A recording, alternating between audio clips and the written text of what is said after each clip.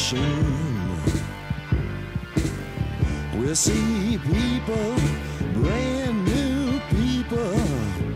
There's something to see.